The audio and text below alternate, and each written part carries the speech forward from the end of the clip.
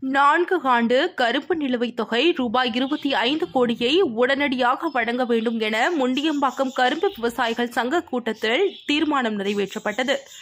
முண்டியம்பாக்கம் கரும்பு விவசாயிகள் சங்கத்தின் சார்பில் பேரவைக் கூட்டம் விழுப்புரம் கரும்பு விவசாயிகளின் திருமண மண்டபத்தில் நடைபெற்றது. கூட்டத்திற்கு சங்க தலைவர் வக்கீல் பாண்டியன் தலைமை தாங்கினார்.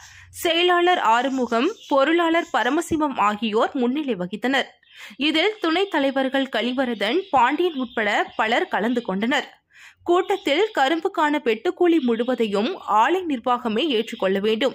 நடப்பு கரும்பு பருவம் இரண்டாயிரத்தி இருபத்தி இரண்டு இருபத்தி மூன்றாம் ஆண்டிற்கான கரும்பு கிரையை தொகையை பதினைந்து நாட்களில் விவசாயிகளுக்கு ஆலை நிர்வாகம் வழங்க வேண்டும்.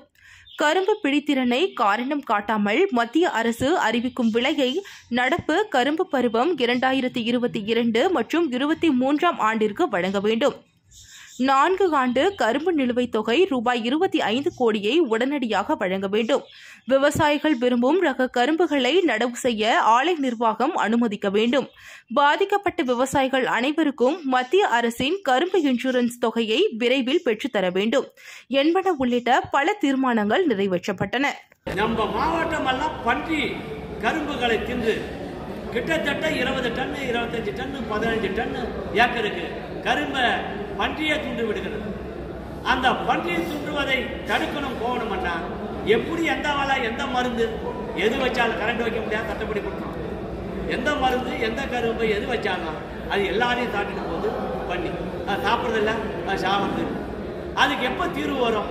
தீர்வு வந்து அரசாங்கம் எடுத்தால்தான் அதுக்கு தீர்வு காண முடியும்.